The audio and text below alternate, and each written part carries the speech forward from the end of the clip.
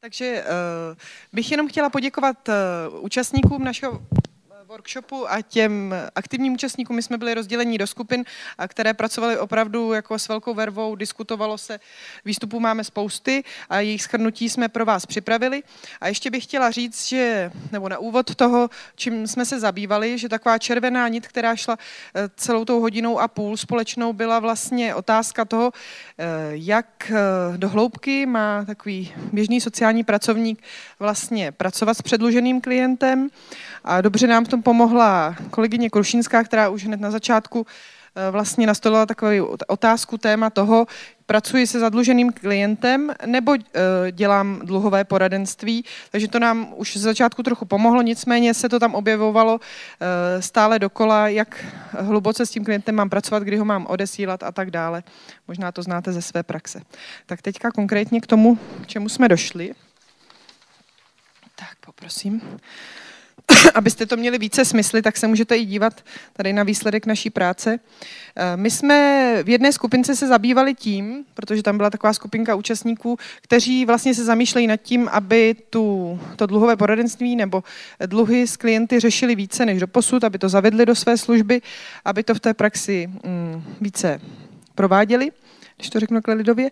A bavili jsme se o tom, co by jim v tom mohlo pomoct a co jim v tom naopak brání a v čem mají velké otazníky nebo obavy. Tím je možná začnu a tě smázneme. Bavili jsme se o tom, jakou mají legislativní ochranu sociální pracovníci v této oblasti, s tím související odpovědnost za škodu a e, vlastně jestli sociální pracovník vlastně by měl se více dovzdělávat, zvlášť těch právních tématech, e, nebo by měl vyhledávat právní poradenství. Tak. Eh, další takovou věc, kterou jsme identifikovali, že by hodně pomohla, aby se eh, kvalitní dluhové poradenství mohlo zavést do služeb, je, aby sociální pracovník měl reálnou možnost zjistit, kolik klienti dluží, když je to jejich zakázka, nemají zmapované dluhy. A poslední, co bych možná zmínila, je, a to se objevuje i na tom eh, v té další skupině, vlastně financování, kdo bude hradit vzdělávání, případně kdo bude financovat třeba větší kapacitu uh, té služby jako takové, pokud se rozšíří o poradenství nebo bude mít větší záběr. Tak. No, to je ještě možná důležitý bod, o kterém jsme diskutovali, a to byla míra kompetencí sociálního pracovníka. Bavili jsme se o tom, co je napsáno v zákoně, co má sociální pracovník dělat a zda v praxi tak činí v oblasti práce se zadluženým klientem, jestli ty svoje kompetence nepřekračuje. Nedošli jsme samozřejmě k jednoznačnému závěru. Nicméně myslím, že už je eh, důležité to, že to je téma k diskuzi a že si v tom nejsou sociální pracovníci jistí. Tak.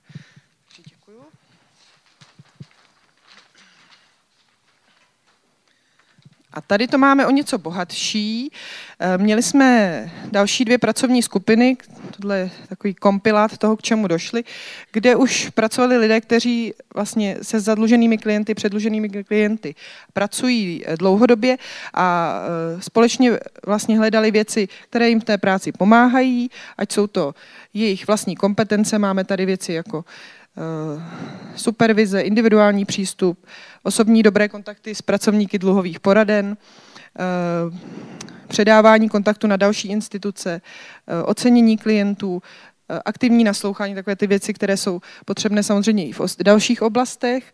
Pak jsme se bavili o tom, co jim pomáhá ve chvíli jakoby zvenku, Eh, došli jsme ku podivu i k tomu, že by jim i komora sociálních pracovníků by zvýšila prestiž a tím pádem by oni mohli dostat třeba větší odbornost i v této oblasti. Eh, bavili jsme se o tom, že jim pomáhá i systém sociálních dávek ve chvíli, kdy klienti můžou hradit určité náklady, nezadlužují se například na nájmu. Eh, bezplatná právní pomoc by určitě pomohla, to je spíš hudba domácnosti nebo zákon o ní. A pak tady máme obrovský balík, který se prolíná který se objevoval i v tom, co brání nebo v tom, co pomáhá. A ten se týká vzdělávání, metodiky, metodických příruček, pardon, ucelené a aktuální informace z oblasti, které by mohly klientům předávat, výklad zákonů, právník, soud, že tam bývá rozpor, judikatura a tak dále, kde vlastně čerpat ověřené a správné informace a jak se vzdělávat. No, uh, No. Pak bych ještě zmínila jednu oblast, ta už nám začala trošku, zabíhat do toho, co nemůžeme uh, jako sociální pracovníci úplně ovlivnit, ale jsou to takové uh, věci týkající se zákonu, to znamená regulace trhu spotřebitelských úvěrů a půjček. Uh, to, že média nějakým způsobem dávají prostor těm, kteří uh, půjčují a klienty to ovlivňuje a my pak těžko uh, soupeříme s těmi médii. Uh, Eh, to je, jak když si chci zjistit dluhy, že to něco stojí a že nám to brání v té práci, protože by to reálně toho klienta posunulo a on to chce. Eh, pak celá problematika společného mění manželů a toho, že jeden může na sebe vzít závazek, který, s kterým dluhy nesouhlasí a tak dále. Takže to jsou také odbornější věci, nicméně v té praxi na to narážíme a nevíme si třeba rady, jak s tím dál. Tak.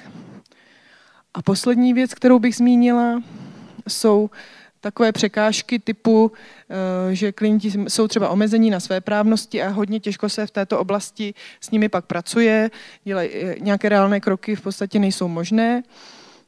A taková etická otázka byla diskutována, jak, jestli vždy bychom měli poradit v souladu se zákonem nebo s tím, eh, co si myslíme, že je správné, když víme, že by to tomu klientovi vlastně pomohlo dělat to trošku jinak. Nevím, jestli si dovedete reálně představit, o co se jedná. Nevím, třeba mám exekuce, vyplatilo by se mi v úvozovkách pracovat na černo, abych vyšel s rodinným rozpočtem a uspokojil potřeby dětí. Jo. Tak jen tak pro ukázku toho, o čem jsme mluvili. Tak toť vše za nás.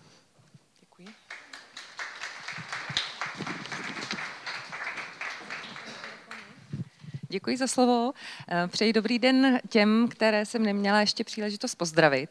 A dovolte mi eh, seznámit vás s velice krátkým výstupem z naší skupiny. Já ho samozřejmě eh, ještě zpětně potom budu reflektovat a sama si to potřebuji ještě utřídit v hlavě, co všechno proběhlo.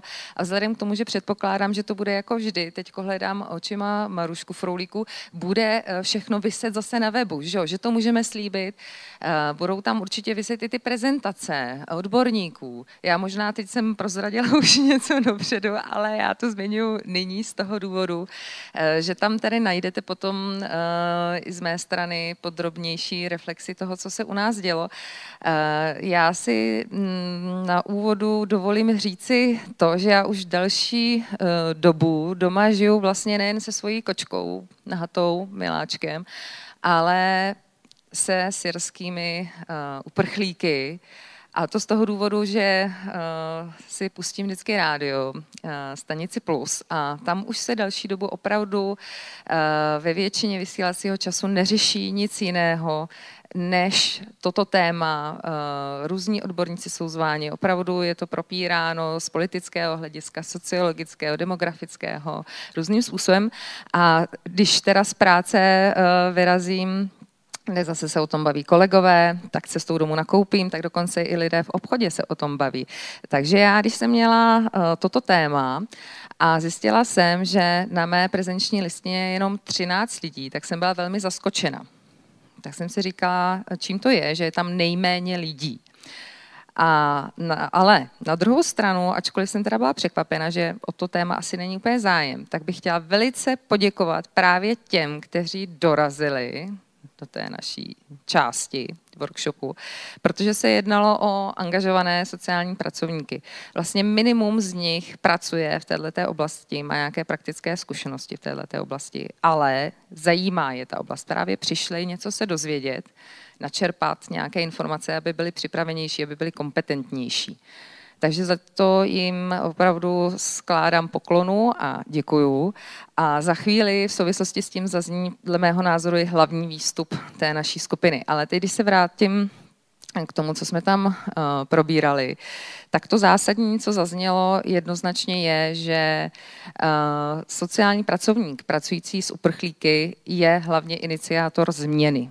Že to je to jeho gro, ale k tomu, aby tuhle tu práci dělal eh, odborně, tak eh, musí být vybaven interkulturními kompetencemi, to je nutné, a musí být také vybaven dovedností improvizace, protože jak je tato oblast velice eh, široká, ty lidské příběhy jsou speciální, tak musí být schopný opravdu reagovat a s tím souvisí samozřejmě ještě další osobnostní předpoklady. A ta jeho role je opravdu velmi důležitá a hlavně i specifická v tom, že on stojí jako zprostředkovatel, prostředník mezi právě těmi klienty a společností. Takže zde je další veliký akcent kladený na kvalitu těch pracovníků. A právě tuhle tu oblast je dle názorů účastnic a účastníka vlastně té naší skupiny potřeba rozvíjet a posilovat. A e, co se teda vlastně ještě prakticky odehrávalo v té naší skupině, tak bylo to, že mm, jedno z nejčastějších očekávání bylo dozvědět si nějaké informace, načerpat, nasávat jako houba dokonce zaznělo. Takže když e, jsme se v této e, části, bych řekla, nebo v naplňování tohoto očekávání posunuli trošičku dál, že jsem cítila, že to zasycování už tam probíhá, tak se to krásně odráželo i v tom, jak se rozvíjela práce té skupiny, kdy najednou začala tam spontánní diskuze a podobně, ale už nám chyběl čas. Takže já jsem říkala, že se vrátím eh, k tomu, eh, když jsem hovořila o tom, že děkuju těm účastníkům, že byli opravdu angažovaní a že s tím souvisí ten hlavní závěr, tak to je tento, co teď nyní řeknu. Ten výstup je, že ti, co tam byli, tak chtějí přijet i příště, ale na nějaký delší seminář na toto téma, klidně celodenní prostě chtějí být ještě lepší a kompetentnější. A to, myslím, velice úzce souvisí s rozvíjením profesionality sociální práce. Takže z mého pohledu je to taky dobrý výstup tohoto projektu. A já děkuji za slovo.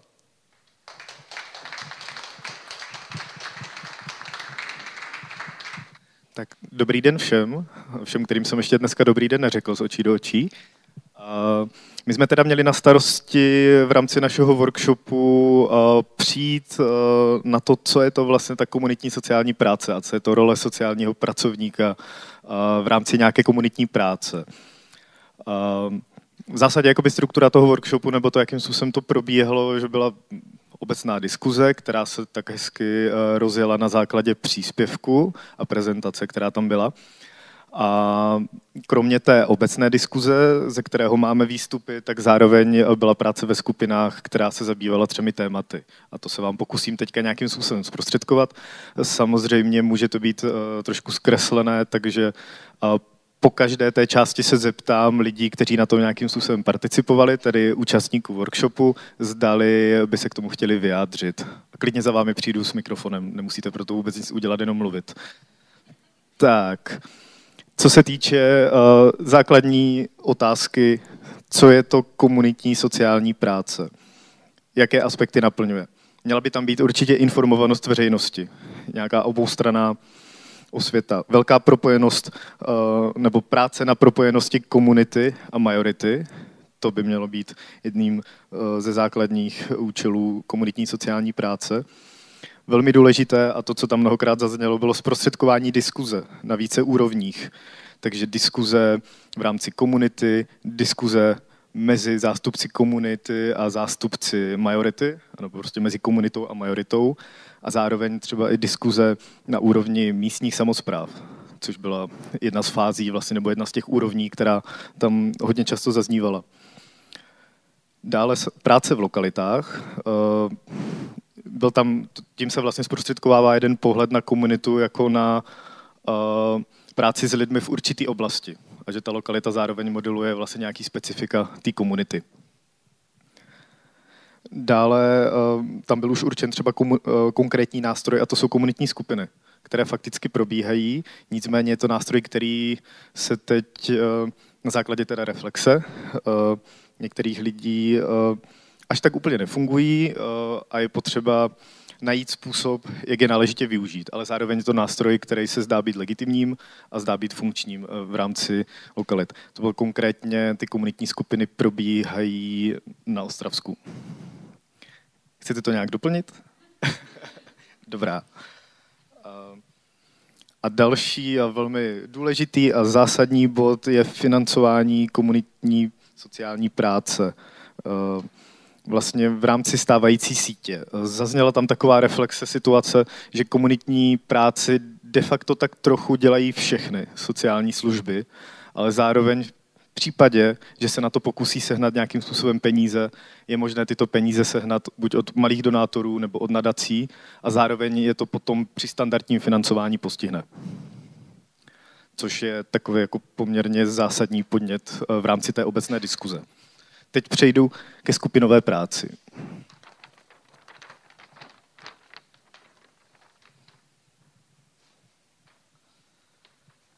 Tak. První skupina měla jako téma role sociálního pracovníka v komunitní práci. Co by měl být sociální pracovník v komunitní práci? Měl by být prostředníkem mezi komunitou a společností. Eh, ještě upozorním, že spousta těch věcí vlastně trošku zaznělo už v té obecné diskuzi a tady eh, v, těch, eh, v té skupinové práci se to hodně konkretizovalo potom. Takže prostředník mezi komunitou a společností, dále by měl být tlumočník, což je vlastně nositel informace směrem ven z komunity a z nějaké skupiny, ve které má díky této komunitní sociální práci probíhat změna kvalitativně k lepšímu.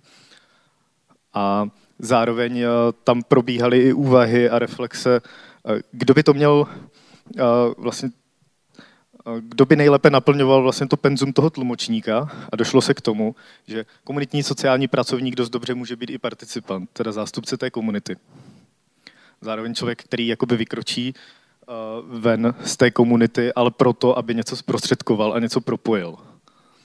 Takže zároveň člověk, který vlastně ty hodnoty a nějakou tu kvalitu přináší zpět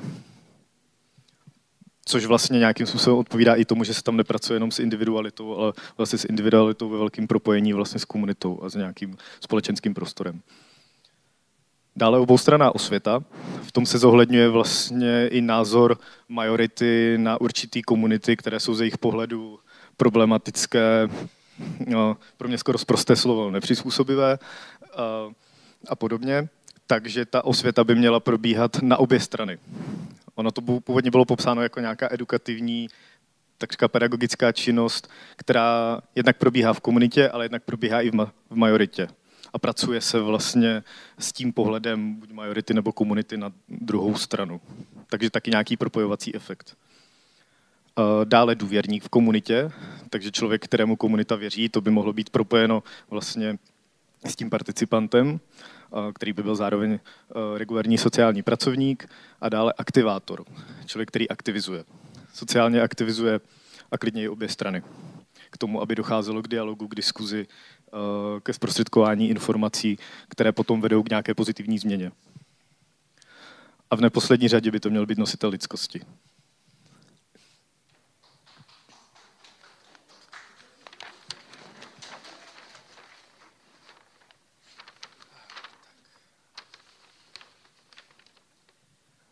Další skupina měla na starosti, nebo měla takový úkol uh, zhodnotit, jakým způsobem je přítomná komunitní práce v jejich každodenní praxi, i když oficiálně komunitní práci nedělají. Zhodli se na tom, že přítomná je opravdu v každodenní praxi.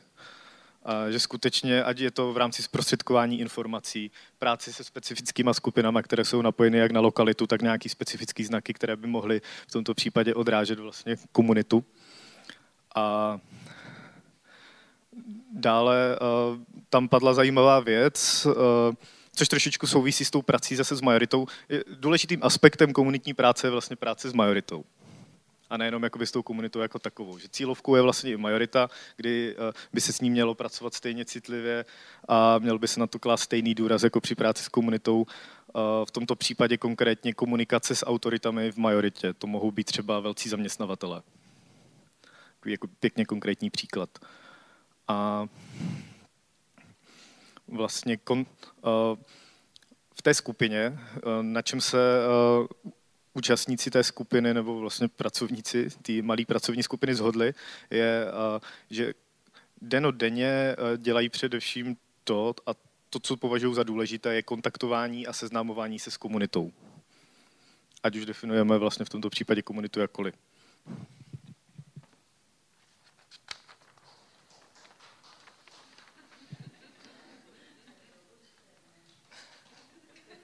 Zároveň znovu opakuju, že pokud se jakýkoliv aktivní účastník pracovní skupiny chce k tomu vyjádřit a doplnit to, tak může.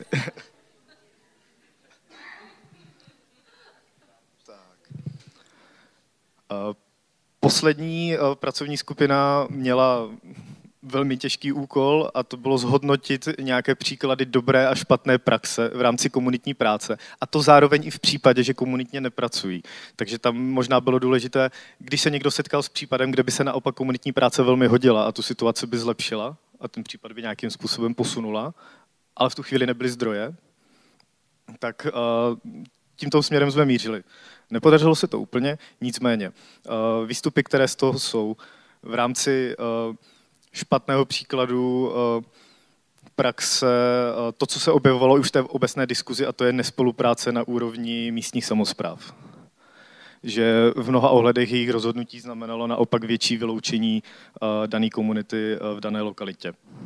To tak jakoby v obecnosti. Přiznám se, že ono tam zazněl konkrétní příběh, který v rámci nějaké úspornosti a rychlého psaní jsem nezaznamenal. Nicméně vyšlo mi z toho to, že a bylo to eh, zjevné i eh, z předchozí diskuze, že se s tímto potýká více pracovníků a více organizací nebo skupin. A dobrým příkladem praxe, původně, když jsem se na to zeptal, tak jsem mi dostal odpovědi, že žádný dobrý příklad není. Nakonec přece jenom se něco našlo a je to poměrně pěkný, uh, malý příklad, ale malá radost není malá radost. v rámci práce jedné organizace dochází k pravidelnému setkávání různých skupin. V tomto případě jde konkrétně o, opak, pravidelné setkání předškolních dětí a seniorů, kde si nějakým způsobem zprostředkovávají vlastně no, aktuálně svý pohledy na život, to, jakým způsobem žijou a je to vlastně pro obě dvě ty skupiny nějakým způsobem obohacující. Což může být taky příklad, který by se dal zařadit vlastně do penza komunitní práce. Tohle jsou všechny naše výstupy. Díky za pozornost.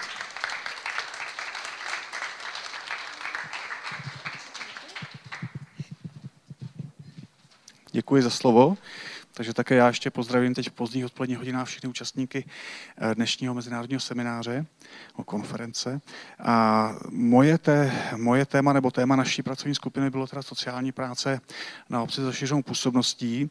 Musím říct, že já jsem teď hledal celou dobu jako nějakou metaforu, jak popsat ten náš výstup, který si myslím, že je takovým jako náznakem mnoha témat a mnoha, mnoha diskuzí, které jsme ale nestihli dotáhnout. Napadlo mě, že sociální práce na obcích je aspoň teda z mého pohledu takové krásné jezero, je krásné těma rozsahem těch možností pomoci, olivnění situace na konkrétních obcích, konkrétních lokalitách. A my jsme stihli, tak řekl bych, spustit loďku na člun a možná jsme na ní všichni jako mentálně nasedli jako do jedné loďky, že jsme se ujasnili během té hodinové, hodinu a půl diskuze pojmy, že jsme zjistili, že v tom, nebo aspoň takhle já jsem to vnímal, že v tom trošku tápeme.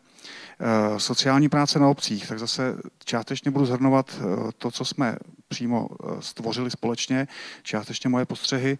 Mám pocit, že je to velice záležitost jakoby obecně známá, přece všechny obce dělají sociální práci v nějakém rozsahu, je to téma v oboru už zakotvené za ty tři roky, co to běží, ale na druhou stranu cítím, že ty, ty rozdíly jsou, jsou veliké v tom, ty, ty praktické, tak jak to děláme. To bylo vidět i z jako těch reakcí, kdy jsme tak na sebe někdy koukali a říkám, že jsme tuhle společnou řeč hledali obtížněji.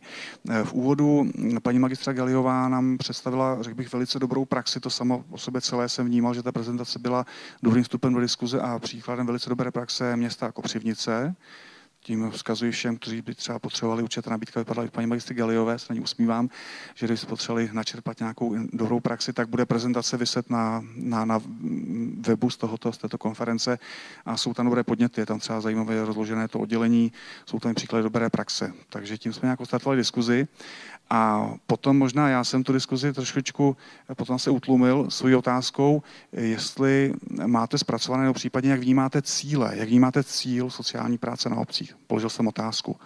A zavádlo takové ticho, takové pohledy a mně z toho prostě přišlo, že vlastně, že vlastně všichni to bereme tak, a s tím se setkávám častěji při setkání se sociálními pracovníky, že tak nějak všichni vzdělanostně, intuitivně, naší praxí cítíme, co máme dělat. Je to pomoc klientům v těch jednotlivých kauzách, které řešíme. A když se nás někdo zeptá, a co je cíl, teda jako obecně té činnosti na obci, tak najednou jistí nejsme. Eh, z toho jsem ještě nějak, jako, a také jsem se potom na to ptal, eh, tak jak jsme tady byli, bylo nás, a bylo nás hodně, bylo nás, bylo nás zhruba jako nás teď, eh, tak vlastně žádná z těch obcí, nebo aspoň se někdo z kolegů nebo kolegy nepochlubil, nemá třeba zpracovanou blížší metodiku blížší metodiku na tuto činnost, na sociální práci na obci. Takže to je takové jako mé postřehy eh, pelmel k té práci skupiny, ale zajímavý takhle, k tomu cíli jsem chtěl říct, že tam vlastně to eh, odstartovala hezky zase přednášející, protože říkala, že se setkala s představitelkou jiné představitel, představitelky úřadu, nechci říkat úřad práce, jsem to chtěl nějak popsat, tak to řeknu úřadu práce, a tam zaznělo, tam zaznělo, no naším společným cílem, jako rozumíte, úřadu práce a obce, je přece ušetřit, tak na tom budeme spolupracovat. Tak na to konto jsem položil tu otázku, jaký vlastně cíl. Potom tady i s pomocí expertky, a já jsem to říkal nějaké své stanovisko, eh, jsme tak nějak si řekli, že cílem je vlastně eh, podpořit tu obec, zkvalitnit život té obci. Jo udržet soudržnost, sociální smír v té obci, to je třeba uh, cíl. A teď přednáším, teď se přiznám, teď, teď, teď, teď to nemůžu garantovat jako výstupy skupiny, protože jsme na to neschodli, protože jsme vlastně nedospěli k nějaké schodě, ne, neměli jsme tolik času na tom popracovat. Uh, takže i třeba v tom jsme zjistili, že trošku možná malinko, malinko tápeme. Eh, vyšlo mi z toho, že samozřejmě sociální práce a kolegové, kolegyně se potkávají v té své činnosti v mnoha ohledech eh, narážejí na hranice toho, obo, eh, toho, kde je to ještě sociální práce na obci, kdy už to předáváme. A to nejen v rámci odborů, třeba s oddělením sociální právní ochrany, ale i v rámci síťování, v rámci spolupráce s neziskovým sektorem. V rámci té spolupráce od kolegy ze Sedlčanska tak eh, padl kvejský příspěvek, vlastně on říkal, že on je zástupce, že není z obce, zástupce neziskového sektoru a nabízel spolupráci, tak určitě to platí ve všech regionech, že ten neziskový sektor čeká na, na, na tu spolupráci, na to předávání svých klientů. Eh, zazněla také otázka, na kolik vlastně můžeme předávat informace, to už tady zaznělo i dříve jo, kde jsme zmocněni. Tam jenom zase teď zase přednáším na to pozor. Jo. Nemůžeme úplně všechno zavolat do neskovky a přesně popsat situaci klienta. Že jo. Mělo by to být s jeho vědomím, s jeho zmocněním především, s jeho souhlasem a tak dále. Takže i o tom jsme mluvili tak jako na okraj. Zase nepřímo zaznělo, ale samozřejmě potýkáme se s velkou nesourodostí v rámci sociální práce a jeho výkonu na obcích v České republice a to je počet, počet pracovníků. Zazněla tady i ta dobrá zpráva, že teda, a to vy všichni víte, že je dotační titul na, na to vyspecifikován, takže věříme tomu, že do budoucna se ty počty budou konzolidovat, tím myslím zvyšovat a ta situace si sedne. Jako dobrá praxe si myslím, že tady zazněl příklad, eh, který potazovala kolegyně, která se v těch místech, a to jsou, to jsou konference, eh, případové konference. Zazněl i názor, to přece dělá SPO na sociální práci, není tolik jakoby spolupracovníků na, na, na tu kauzu. Byla tu ale prezentována jiná zkušenost, kde případové konference jsou dělané, eh, jsou přizváni odborníci, protože i k té kauze kauze kterékoliv klienta mají možnost se vyjádřit samozřejmě jeho rodina, sousedé, lékař, policie, pracovník SPO, další, další subjekty, pracovník úřadu práce, aby jsme nezapomínali. Eh, vlastně naší pracovní skupině byla i zástupně úřadu práce, eh, také eh, vyzvala ke, ke spolupráci, naznačila ty možnosti té spolupráce. Úřad práce teda dneska drží v ruce ten instrument těch dávek, ale jasně tam zaznělo, že teda i úřad práce, aspoň ústy kolegyně, má chuť spolupracovat, protože samozřejmě i oni chápou, že to prostě je eh, jedna záležitost, to nejsou dvě, jako dva, dvakrát práce, to je prostě práce s jedním klientem. Na to konto vznikla i diskuze zajímavá, jestli náhodou není taková ta nostalgie po těch, po těch časech, kdy na, na obcích se vyplácely dávky, to zaznělo to už tam v tom dopoledním bloku, vím, že to bylo i v kulárech, to pak šlo během té polední pauzy, co vlastně bylo lepší. Eh, tady třeba mi přišlo, a pokud by moje skupina pracovní měla pocit, že tak to není, že zase přednáším a správně nepřednáším. Já osobně jsem měl dojem, že spíš převážily hlasy, nebo já jsem je víc slyšel, které řekly ne, teď, teď je to lepší v tom, že teď můžeme dělat čistou sociální práci, která není kontaminovaná těma Eh, financema, těma dohadama s klientelou, kdy i ten klient samozřejmě toho sociálně pracovníka vnímá úplně jinak. Protože pokud on je ten, kdo rozhoduje o té dávce a bude podepsán na tom rozhodnutí, no na tom oznámení o dávce, tak samozřejmě to je úplně jiná pozice pro klienta i pro toho pracovníka, než když jste pracovník obce a ty peníze za váma jako nejsou. Pak chodí ty lidi, co potřebují, pomoc potřebují a nejspíš budou i spolupracovat na té pomoci. Takže takhle to zaznělo ve skupině. Pokud jsem tam vypreparoval z toho sdělení nějaký příklad třeba špatné praxe, tak tam zaznělo několikrát z několika regionů provázanost se sítí služeb kterou dneska realizuje stanovuje kraj, tam kolegové zejména z menších měst říkali, my nemáme ty služby, potřebovali bychom, nemáme je, jak to máme udělat. Zazněl tam případ nějaké, pochopil jsem, že úplně hraničního regionu, kde to do, do okresního města mají tak daleko, že ten klient tam samozřejmě, samozřejmě nedojede a tak dále. Takže jak zajistit, takže to je spíš taková otázka. Vyslovně tam zazněla jako problémová, problémová skupina klientů a to musím říct, že jsem zaznamenal už na více jako seminářích, eh, která se nám tady v republice, řekněme, jako definuje a profiluje, tak jsou to duševně nemocní, to souvisí s tou transformací péče o tyto osoby v psychiatrických nemocnicích, ale také pak taková ta hraniční skupina těch lidí třeba se slabou mentální retardací, alkoholiků, který dneska je 55 a po nějaké třeba mozkové příhodě najednou, jako prostě, tak jsme se shodli, že to je cílová skupina, která není, není o, jaksi ošetřená dostatečně, je málo zařízení a zaznělo tady jasně jako přání teda sociálních pracovníků obce. Pomožte nám tady tou cílovou skupinou, eh, nevíme se s nimi, s nimi rady. Eh, zazněl Zazněl návrh zase, že vlastně to by měl a mohl uh, řešit kraj v rámci síťování. Konec konců kraj má i další možnosti, třeba instrumenty, jak třeba podpořit z nich třeba domů s zvláštním režimem tady pro ty cílové skupiny v těch regionech, že, že ty služby chybí. To víme všichni. No a my jsme, uh, my jsme pak na konci uh, paní expertka, doktorka Zimelová, tak vlastně dala takovou nabídku, za stolu o penězích, protože řekla, kdybyste měli všechny peníze světa, tak a mohli nějak změnit tu agendu vaší, tu práci, tak co byste, co byste si přáli, no, co byste potřebovali. Uh, zaznělo několik věcí. Ta jedno, jedno bylo upřímně hezky vyslovené přání, aby politická reprezentace uh, té konkrétní obce, aby, aby jako brala tu práci v potaz, uh, aby, aby pochopila, že vlastně zase to, co chce ten politika, to, co chce sociální pracovník, by se mělo potkávat na konci jo, protože to je nějaké blaho toho místního, toho regionu, té obce a tak dále. Eh, potom pan kolega hezky hovořil o sociální práci jako takové, o tom oboru, který by prostě měl, jít, eh, měl být víc viděn. Mluvil o sebevědomí profesním, ale i o sebevědomí každého z nás jako sociálního pracovníka, protože každý z nás vytváříme samozřejmě eh, ten obor a tak, a tak každý s takovým jako malým dílkem prostě přispíváme třeba ke zlepšování té situace, postavení i třeba sociální práce na obcích.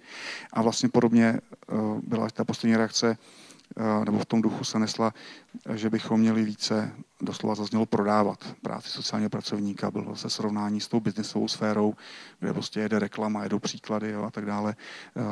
Takže že bychom taky měli jako sociální pracovníci více umět tu práci prodat, protože je co, je co, je co prodávat. Takže toliko asi za pracovní skupinu sociální práce na obcích. A jestli tady předtím zaznělo, že by kolegové přímo, že si objednali seminář na, na téma práce s uprchlíky, tak uh, věřím tomu, že my bychom tím tématem práce, sociální práce na obcích vykonávaná, tak bychom naplnili možná několika denní seminář. Tím nechcem, tím nechcem soutěžit, jakoby. Děkuji za pozornost.